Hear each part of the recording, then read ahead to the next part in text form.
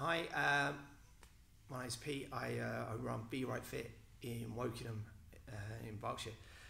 Um, been in the industry for 13 years full time now, 11 as a PT. Um, we generally coach mostly general population, majority female, the ages of 30 plus. Um, before I joined the, the mentorship, I felt like I was just going through the motions. As a coach, you know, you just, you almost just feel like you're just going through the same thing all the time and you can just become a little bit stagnant. And there wasn't much out there that was grabbing my attention on how to become a better coach for the sort of population and the clientele that I have. Majority is like getting out there for sort of uh, physique competition people, athletes, etc. Whereas for the general population, there wasn't too much about. I was I was lucky to get hold of get onto one of Tom's days where he was working with some professional boxers, and on that day something just clicked in my head. I was it was like I need to know, I need to learn from this person. This person can make me a better coach. He can make me better. Um, so that was it. Then I sort of applied, and uh, I was lucky enough to to get on.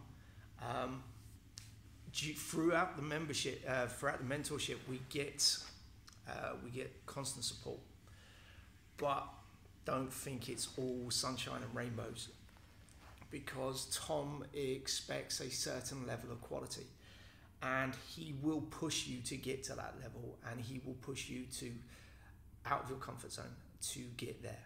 Now that's not a bad thing; it's it's a really good thing because to become a better coach, you need to understand all of this stuff. You need to understand the nitty gritty of a movement, how it affects the, the nervous system, etc.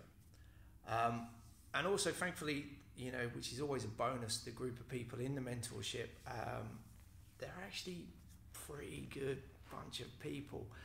No, there's no sort of anyone in there that walks in thinking he's he's the uh, they're, the peacock and you know standing around and giving it the big one because generally they generally won't last too long. Um, but everyone's there for the same reason. Everyone wants to get better at doing what they do, um, which is great because they support each other as well. We push each other through. Um, as a coach, you know, my skills have developed immensely. Every time we get together, I come away buzzing. There's always something else coming off in my head oh, we can do this. Yes, this needs to work. That needs to happen. This is reason for it.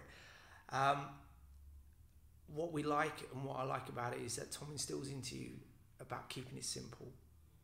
You know, keeping it very, very simple, so keeping the movement simple, but keeping the tension in the body whilst doing it for the vast majority of people out there. So for the general population. But he also wants to make sure that as a coach, that we know the ins and outs of a duck's backside of that movement, why we're doing it, what we're using to get there.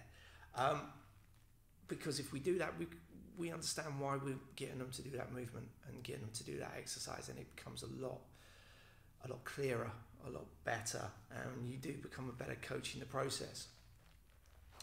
Um, and you become an actual coach. You're not just an entertainer sat out at the front of a class or you know, standing around beasting someone into oblivion. I mean, anyone can do that, but to become an actual coach to make someone better, help someone move better, you've got to understand the principles of that movement. Um, what I would say is if you're thinking about it, if you are thinking about joining the mentorship, then just do it. Have a chat with the people that you need to chat to. Get involved and be prepared to work be prepared to take yourself outside your comfort zone because if you just want to sit there and go through the motions, then this isn't for you. If you want to be better and want to be a better coach and a better person because of it, then yeah, get involved. All right. Take care.